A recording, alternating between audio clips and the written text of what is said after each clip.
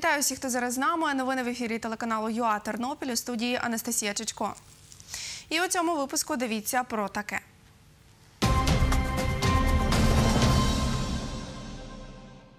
Літера І на початку слова фемінітиви менше дефісів. В дію вступила нова редакція українського правопису. Цей правопис е, якраз націлений на те, щоб показати, що українська мова самостійна, Правоохоронцям відомі замовники вбивства активіста Віталія Ващенка. Для оголошення підозри недостатньо доказів. Заява начальника облполіції Богомола. Ми перевіряємо людей, е, замовників, і якщо би було достатньо відомостей оголосити підозру замовнику, повірте, що вона би була вже оголошена. Тернопільські актори готуються до прем'єри вистави, якою завершуватимуть театральний сезон. Потім я пішла в універ, мама кудись у справах.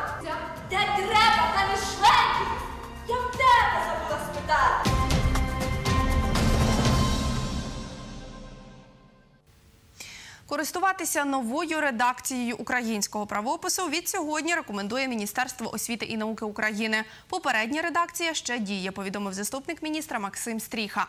Використовувати тільки правопис 2019 в офіційно-діловому мовленні будуть після видання книжки правопису. Коли її надрукують, у міністерстві ще не знають. Текст нової редакції правопису опублікували на сайті Міністерства освіти і науки України сьогодні. Зміни в правописі такі: замість проект вживаємо проєкт, проекція, проєкція. У прізвищах іншомовного походження звук К не подвоюється. Дікенс, Текерей, Бекі. Разом пишемо слова: міні-сукня, віце-президент, екс-міністр, веб-сайт, мікроекономіка, віце-прем'єр, екс-президент. Слова півхвилини, півяблука, пів Києва, які раніше писали через дефіс, тепер окремо. Але одним словом, як цілісне поняття півострів, півзахисник, півмісяць. Російські прізвища тепер вживатимуть за українським зразком: Донской, Донський, Трубецькой, Трубецький. Слово священник з подвоєнням за аналогією до слова письменник. Є два варіанти написання слів іншомовного походження: Вергілій і Вергілій, Гулівер і Гулівер, аудієнція і авдієнція, лауреат і лавреат, кафедра і катедра, ефір і етер, міф і міт, українських і давно засвоєних слів. Ірій і ерій, ірод і ерод. Варіантні форми родового відмінка радості радости, любові й любови. У школах Тернопільщини новий правопис вивчатимуть з 1 вересня цього року, каже начальник обласного управління освіти Ольга Хома. Розповідає, якщо дитина використовуватиме форми слів зі старого правопису, це не вважатиметься помилкою. Перед початком навчального року зміни до правопису роз'яснять вчителям. Це буде обговорення українського правопису, де найбільш актуальніші питання і незрозумілі моменти будуть врегульовуватися і вчителям пояснюватися, чому так, а не інакше. Разом з тим, ми маємо розуміти, що е, наші підручники на сьогоднішній час не пристосовані до українського правопису. Тому, де будуть такі теми, вчителі самостійні ну, повинні пояснювати відповідно вже до нового правопису. Мовознавець Галина Бачинська розповідає свою думку щодо нового правопису. Ці зміни були на часі, тому що той правопис, яким ми користувалися до сьогоднішнього дня, він е, не повністю показував риси української мови. І дуже часто він відбивав риси російської мови, і таким чином виходило, що українська мова не є самостійною мовою. Цей правопис е, якраз е, націлений на те, щоб показати, що українська мова самостійна, Студентка філологічного факультету педагогічного університету Ольга Мариновська прочитала нову редакцію українського правопису. Мені зокрема подобається, тому що це є повернення до чогось нашого ідентичного, е, але е, важко звикнути і е, хотілося б е, проводити більше курсів для ознайомлення. Зокрема, ми з одногрупниками порадились і хотіли б вибрати на наступний семестр спецкурс з нового правопису. Викладач кафедри мовознавства Тернопільського педагогічного університету Оксана Вербовецька каже, ця редакція потребує доопрацювання. Є дуже багато е, такого, що не спрощено, а в принципі ускладнені самі правила. Е, Треба було би все-таки внормувати е, вимову і правопис е, сам в деяких правилах, тому що дуже багато є неузгодженості і неточності. Якщо вже винятки подавати, то подавати винятки, напевно, що варто було би усім. І е, все-таки перевірити, щоб одне правило не суперечило іншому правилу. І хочеться все-таки спрощення. Тарас Бурак, Соломія Струс, Юрій Багрій. Новини.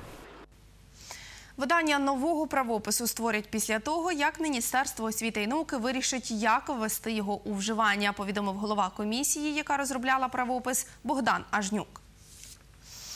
Головою української делегації в тристоронній контактній групі знову став Леонід Кучма. Про це сьогодні на спільному брифінгу повідомив президент України Володимир Зеленський. Вже 5 червня буде перша зустріч трьохсторонньої групи на чолі.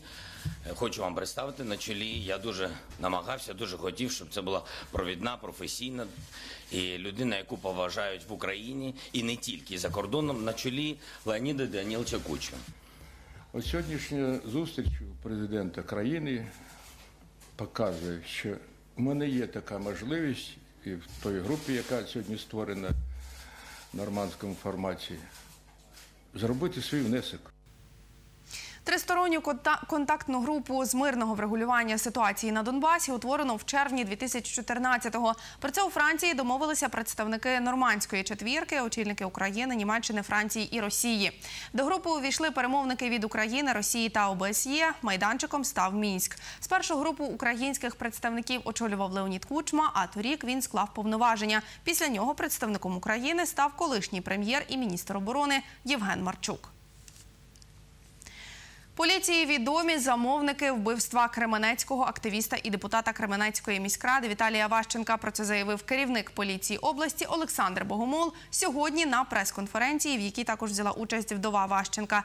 Прізвищ поки що не називають, оскільки прокуратура і слідство не висунули цим особам підозри і не направили справи до суду. Вдова загиблого Віталія Ващенка розповідає, справу у суді розглядають впродовж двох років. По замовнику поки що ніяких зрушень немає, і тому я хочу, щоб донести до громадськості, е, почути якісь. е, Можливо, є якісь нові напрацювання, якісь нові слідчі дії проводилися в поліції. Керівник головного управління поліції області Олександр Богомол заявив, поліції відомо про осіб, причетних до замовного вбивства. Є ряд людей, про які я особисто переконаний, що вони причетні до цього злочину, але поки прокуратура і слідство немає, е, не, скажімо так, не висунули підозру і не направили відносно них справи до суду. Серед тих осіб, які ми перевіряли і перевіряємо зараз, хто міг бути причетний до замовлення, також співучасті в цьому, є і судді, є і прокурори, є і лісники. На прес-конференцію приїхала хрещена Віталія Ващенка Нонна Чухраюк. Жінка каже, справу намагаються затягнути. Вона показує Олександру Богомолу публікацію у Кременецькій газеті. Великими буквами написано поліції відомі замовники вбивства Віталія Ващенка. Це що?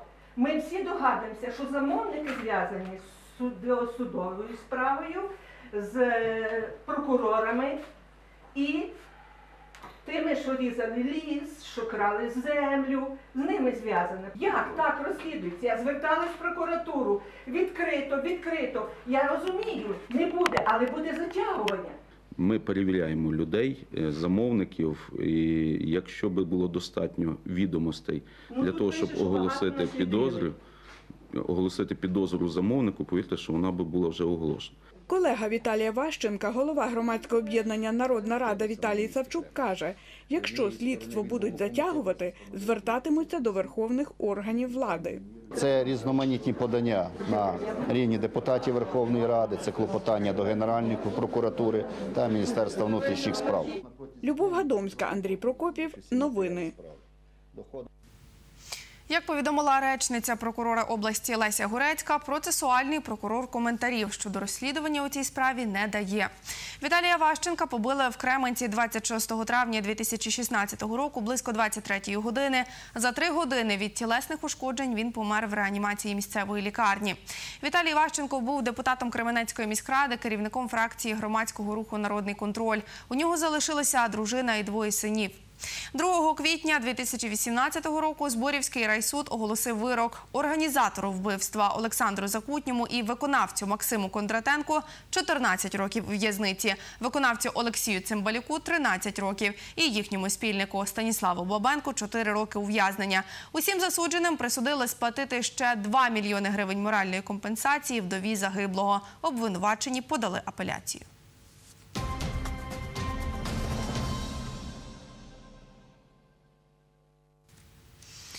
Чотири маскувальні сітки розміром 4 метри на 8 сьогодні студенти історичного факультету Тернопільського педуніверситету передали військовим на схід. Богдан Буденчук розповість про це більше. Зараз семеро студентів першого курсу історичного факультету пишуть листи військовослужбовцям. Вони два тижні плели чотири маскувальні сітки розміром 4 на 8 метрів. Пише лист 18-річна студентка першого курсу історичного факультету Ірина Паньків. Ми пишемо про щось нейтральне, тобто де ми навчаємось, як в загальному проходить наше студентське життя, про наші особливості. Третій рік плете сітки студент історичного факультету 20-річний Денис Луковицький. Хлопець розповів, що за цей період зробив вісім сіток. Ми робимо це просто так. Е, Само собою нам приємно, коли нам надсилають різні фотографії, коли нам надсилають грамоти, зокрема подяки. Е, Власне, і прапор нам надсилала 80-та бригада. Це справді дуже приємно, тому що ти розумієш, що це ти робиш не просто кудись там і немає відповіді, а ти розумієш, що це, це реально допомагає. Плете сітку розміром 4 метри на 8 першокурсниця Анастасія Качунь. Ми один квадрат плетемо дві години. Ну, це не дуже важко. Емоції, звичайно, що повинні бути позитивні, оскільки ми робимо дуже добре діло.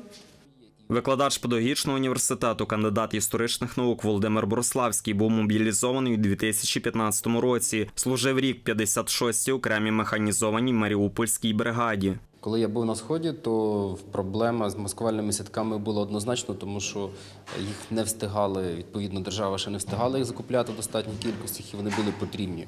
Ці маскувальні сітки, які ми мали, це все були саморобні сітки. Відповідно, їх волонтери робили і передавали нам. Ця ініціатива студентська про те, щоб робити сітки, передавати їх на схід, вона має два значення: перше, хлопцям вони потрібні, і другий момент це нагадування суспільству про те, що десь там на сході йде війна. Це археологічний музей історичного факультету, який зараз є волонтерським центром. Тут студенти готують матеріали та зберігають маскувальні сітки. Як виготовляють сітки, розповів доцент кафедри історії України педагогічного університету Володимир Кіцак. За його словами, собівартість однієї сітки в середньому 250 гривень. Наразі Греко-католицька церква дістала нам, ну по великому рахунку, там, мабуть, півтони тканини. Ось і далі біла тканина ми відкладаємо окремо, вона йде на зимові сітки, вона такою і залишиться. Тканина, та, яка має колір, байдуже якого вона віку, якого вона стану, фарбується на зеленуваті, коричневаті кольори. Зовсім недавно подзвонили до нас десь в квітні, кажуть, хлопці, передайте сітки. Кажу, слухайте, в нас тільки білі. Він каже, передайте, які хочете, тому що організували ем, новий взводний опорний пункт, і снайпери з сусіднього горба росіяни його прострілюють. Нам треба каже, хоч чимось накрити окопи, щоб снайпер не бачив цілі. То ми от весною передавали білі маскувальні сітки. Тепер навзаєм їм передаємо вже зелені, ті, які вже дозволять гарно замаскувати потрібні точки і для спостереження, і для секретів, і для е, покриття бронетехніки, і ще багато іншого. Богдан Буденчук, Оксана Галіяш. Новини. Чотири сітки відправили поштою в Маріуполь. З 2015 року студенти історичного факультету сплели 275 маскувальних сіток площею понад 8 тисяч 240 квадратних метрів, повідомив викладач історії, доцент кафедри історії України Володимир Кіцак. Актори Тернопільського обласного драмтеатру імені Тараса Шевченка готуються до прем'єри вистави Олена не прийшла додому. Її ставлять за одноіменною п'єсою українського драматурга Олександра Володарського. Нею і завершуватимуть театральний сезон. Режисер-постановник вистави В'ячеслав Жила. Сьогодні на великій сцені театру відбулася генеральна репетиція. На ній побувала і наша кореспондентка Анжела Шова. Репетицію вистави розпочали зі сцени, коли одна з головних героїнь Олена, у якої не складаються стосунки з доньками, вирішує піти з дому. Мені була потрібна довідка, щоб покрити пропуски. Потім я пішла в універ, а мама кудись у справах. Де треба, там і шленькаюсь. Я в тебе забула спитати. За сюжетом це комедія з двома зникненнями і з двома головними героїнями Оленами. Одна доросла, друга підліток, яка тікає з родини, бо не може порозумітися з батьками. Працювали над п'єсою, яку драматург Олександр Володарський написав у 2019 році близько трьох місяців, розповів режисер-постановник В'ячеслав Жила. Саме свіжа п'єса українська, сучасна про наше життя буття. Це як дві окремих е, сім'ї, дві окремих сцени, дві окремих, два окремих сюжета, але які об'єднані одною метою і одною ідеєю. І якщо в першому варіанті ми бачимо сім'ю, і їхні відносини, в другому варіанті інша сім'я, і що відбувається із дорослими людьми, і з молодими. І, ну, сьогоднішній день. У постановці задіяна вся молода трупа театру. Алла Кулішевська та Маргарита Василишин, які виконують ролі Олен, про своїх героїнь кажуть. Напевно, як кожна жінка, вона мріє віднайти те своє жіноче щастя, від якого метелики в животі, і незалежно в якому жінка віці, вона хоче бути щасливою. Вона хотіла більше свободи, хотіла волі, батьки хотіли її дуже контролювати. І вона от вирішила на протест е, втекти з дому. Народна артистка України Наталя Лемішко у виставі виконує роль Тетяни Сергіївни, яка за сюжетом бореться за щастя внучки. Для мене е, моя онучка коліжанка, і ми такі змовниці трошки з нею. І от в тому заключається моя роль. Я такий ніби зібраний образ всіх бабусь сучасних, теперішніх. Директор, художній керівник Тернопільського драмтеатру Борис Репка розповів, скільки коштує постановка вистави. Вистава по- порівняно з іншими е, прем'єрами, вона не є е, такою аж дорогою, тому що це сучасні костюми, хоча треба було їх всіх е, шити. Деякі костюми сучасні ми про- просто купили в магазинах, вони вже є готові. Ну, Приблизно десь біля 110 тисяч на сьогоднішній день така прем'єра. Анжела Шова, Андрій Бодак. Новини. Вистава, прем'єра якої в Тернополі відбудеться 9 червня, була поставлена в березні цього року на сцені Черкаського музичного драматичного театру. Повідомив режисер-постановник В'ячеслав Жила. Автор п'єси, за якою ставлять виставу, Олександр Володарський, український драматург, сценарист і письменник, який народився в Києві в 1954 році. У 90-ті роки працював заступником першої в Україні гумористичної газети Блін. Заснував у газеті Київські відомості гумористичний відділ клуб Голохвостова. Автор п'єс Людовик і Фрейліна, Мільйон за родимку і Вредна Настя був автором журналу Фітіль. Написав сценарій мультфільму Ішов трамвай дев'ятий номер, який отримав приз Срібний ведмідь на Берлінському кінофестивалі 2002 року. І на цьому у мене все. Наступний випуск новин на ЮА Тернопіль. Дивіться о 20.30 і залишайтеся з нами далі в ефірі Тема дня.